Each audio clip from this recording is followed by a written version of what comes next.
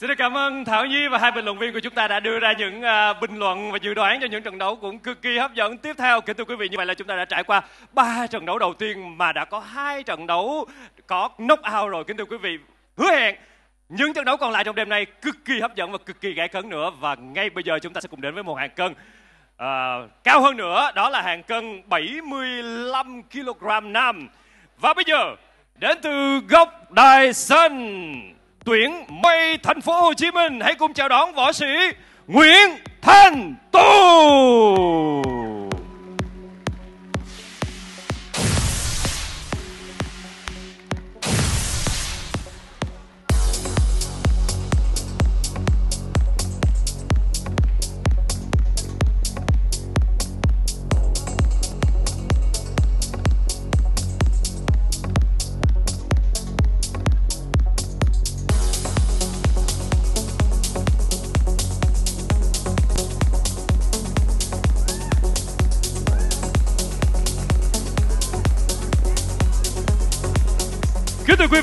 Võ sĩ Nguyễn Thanh Tùng đến từ tuyển Muay Thành phố Hồ Chí Minh. Anh sinh năm 1996, cao 1m75, nặng 75 kg với sải tay 182 cm. Huy chương vàng Muay toàn quốc 2014 đến 2019, huy chương đồng Muay Đông Nam Á 2017, huy chương bạc Muay thế giới WMO 2018. Đã thi đấu 16 trận chuyên nghiệp, thắng 11, thua 5. Và đó chính là Nguyễn Thanh Tùng.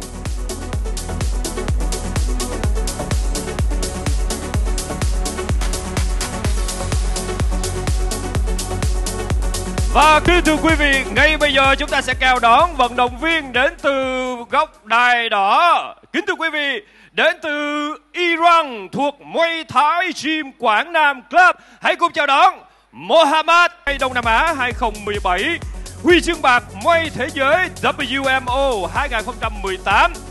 Đã thi đấu 16 trận chuyên nghiệp, thắng 11, thua 5. Và đó chính là Nguyễn Thanh Thu.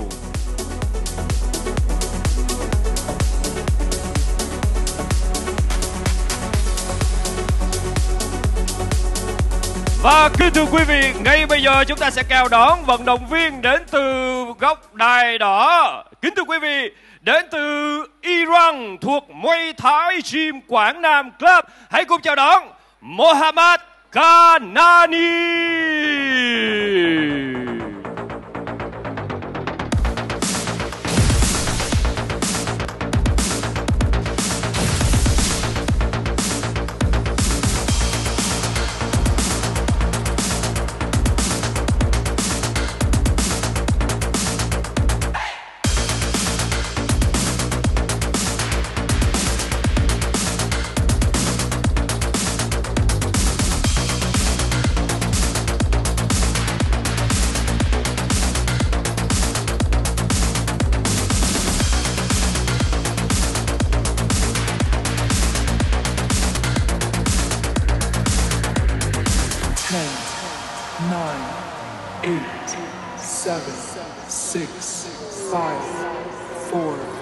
Three, two.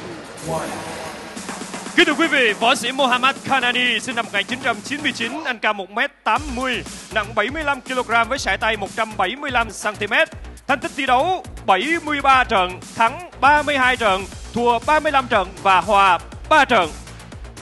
Make some noise for Mohammad Kanani from Iran.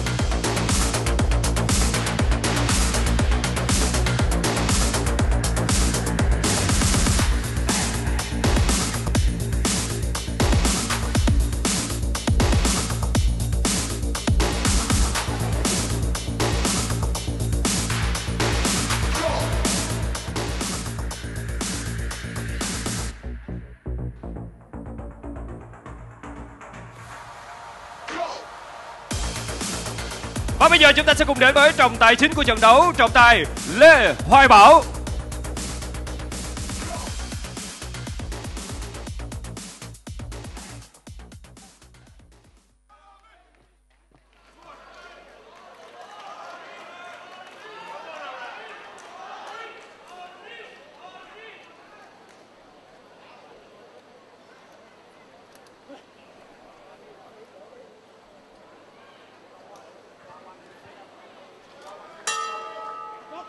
Và bây giờ chúng ta cùng đến với trận đấu tiếp theo vẫn là một màn so tài giữa đại diện của Việt Nam. Đó là Nguyễn Thanh Tùng và đối thủ đến từ nước ngoài đó là Mohammad Kanani. Và ngay đầu trận đã liên tiếp là những pha ra đòn chính xác từ cả hai võ sĩ. Chúng ta có thể nhận thấy là võ sĩ Kanani có đôi tay rất khỏe và Thanh Tùng là người sở, sở hữu những đòn chân rất mạnh và rất nhanh. Vì hy vọng ở trận đấu này Thanh Tùng sẽ thể hiện được bản lĩnh đòn chân của mình và đòn gối. Có thể thấy là dù cùng hạng cân nhưng thể hình của Canani chúng ta có thể dễ dàng nhìn là anh dày người hơn Thanh Tùng khá nhiều. Một lần đạp chính xác của Thanh Tùng chúng ta có thể thấy là Thanh Tùng cũng thể hiện là mình là người dày dặn trong kinh nghiệm thi đấu. À, Thanh Tùng cũng là võ sĩ đã từng thi đấu ở rất nhiều các đấu trường quốc tế, trong nước và cả thế giới cả ở đấu trường nghiệp dư và chuyên nghiệp thế thì xét theo thành tích thì Thanh Tùng là một trong những võ sĩ Việt Nam có kinh nghiệm thi đấu ở đấu trường chuyên nghiệp nhiều nhất với 11 chiến thắng và để thua 5 trận trong 16 lần thượng đài của mình. Một lần đạp chính xác của Thanh Tùng. Chúng ta có thể thấy là các đòn chân của Thanh Tùng rất nhạy.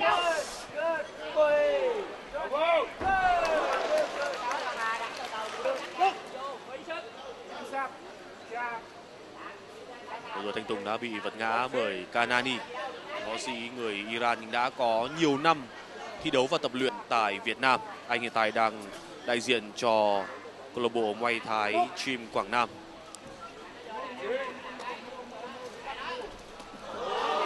Kennedy là võ sĩ từng tập luyện rất nhiều ở Việt Nam nên à, Kennedy rất hiểu phong cách đánh của võ sĩ Việt Nam chúng ta. Thì à, chúng ta có thể thấy là Kennedy lập tức bắt bài được Nguyễn Thanh Tùng. Kanani cố gắng để áp sát và qua đó hạn chế khá nhiều khả năng tung những đòn chân của Thanh Tùng.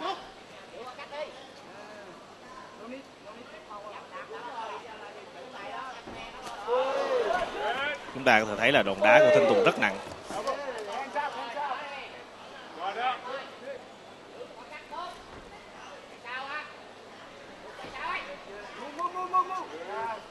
Và ngay bây giờ Thanh Tùng đã lập tức áp sát vào đối phương. Nguyễn Thanh Tùng là một võ sĩ rất giàu thành tích của tuyển ngoài thành phố Hồ Chí Minh. Anh từng giành huy chương vàng ngoài toàn quốc từ năm 2014 đến năm 2019 và có những thành tích ở đấu trường quốc tế như là huy chương đồng ngoài Đông Nam Á 2017 hay huy chương bạc ngoài thế giới năm 2018.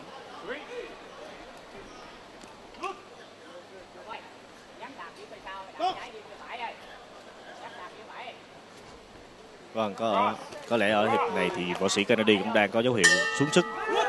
Một lần trỏ của Thanh Tùng. Hiệp một đã khép lại rồi. Người hiệp đấu chưa có nhiều điều để nói khi hai võ sĩ vẫn chưa tung ra nhiều đòn đánh thực sự chất lượng về phía nhau.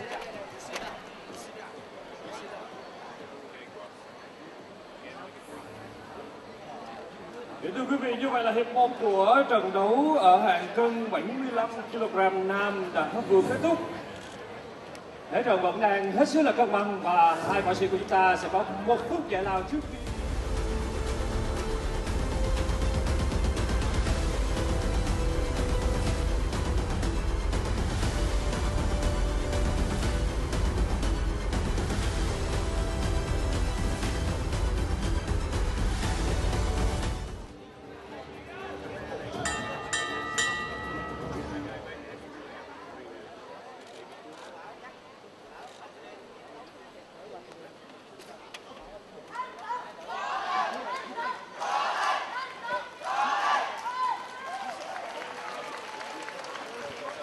Các khán giả tại nhà thi đấu Rạch Miếu đang có những lời động viên dành cho Nguyễn Thanh Tùng, người vào lúc này đã có một chấn thương nhỏ, một vết rách nhỏ trên mí mắt bên trái của võ sĩ Việt Nam.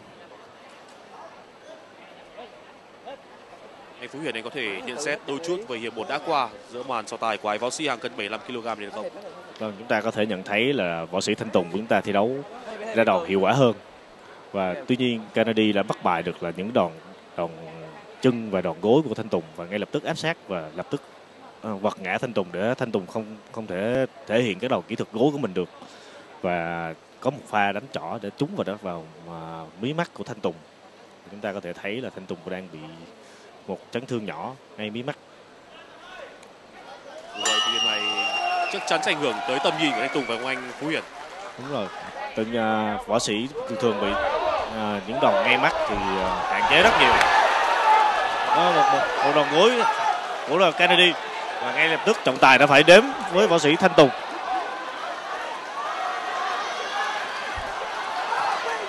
Có vẻ như sẽ là hơi khó để Tùng có thể trở lại để thi đấu. Và trọng tài đã dành cho Kennedy chiến thắng bằng knockout kỹ thuật rồi. À, chúng ta có thể rất rất bất ngờ khi uh, chỉ một phút sơ sẩy thì Thanh Thanh Tùng đã lập tức phải trả giá cho đòn cho đòn đánh không hiệu quả của mình. Và Kennedy đã thể hiện là một đòn gối hiệu quả và ngay lập tức đã hạ đo ván được Thanh Tùng.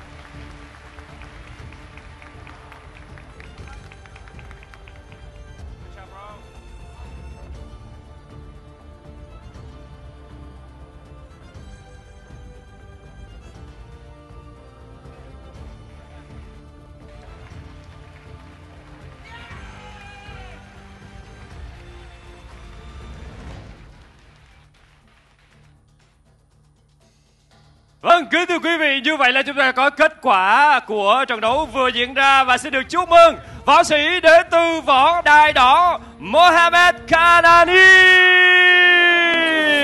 với một chiến thắng knockout.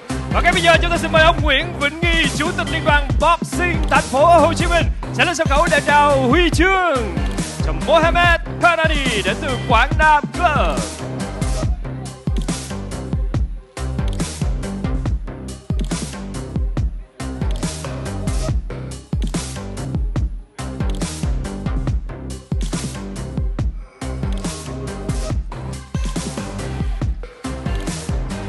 Chúng ta cùng dành một tràng pháo tay thật nồng nhiệt cho Mohamed Kanani đến từ Muay Thai Gym Quảng Nam. Xin được cảm ơn ông Nguyễn Vĩnh Nghi. Xin được cảm ơn quý vị rất nhiều. Mohamed. Hey Mohamed, please come back to the center. So how you feel right now? Hi. Uh, xin chào everybody. Uh, thank you very much everybody. A lot. Thanks, uh, thanks Vietnam. Thanks MTGB uh, for letting me to stay here and uh, and join this big event. I really thankful from everybody. I would like to also thanks my friend who Jim who came down all the way with me without asking anything and also Lee and the other friend Aurelian who was supposed to come but he was late. So basically, thanks Mr. Tang, the head of association. I just want to say thank you. I just want to say thank you to, to MTGB, to Vietnam, to Muay Thai Association, to all my friends, all my friends who came here, and just because of me, they all came here to support me. Thank you very much. Thank you Mohamed for your sharing. Vâng, anh Mohamed đang đẹp rất là tuyệt vời. Xin được gửi lời cảm ơn đến tất cả quý vị, những người bạn, đến cảm ơn đến MTCB, tất cả những uh, cá nhân trong ekip, những người bạn đã luôn support cho Mohamed trong suốt thời gian vừa qua để có chiến thắng ngày hôm nay. Một lần nữa xin được chúc mừng Mohamed Hanani. Thanks for watching, guys. Make sure if you don't want to miss out, you need to subscribe, and we'll see you next time.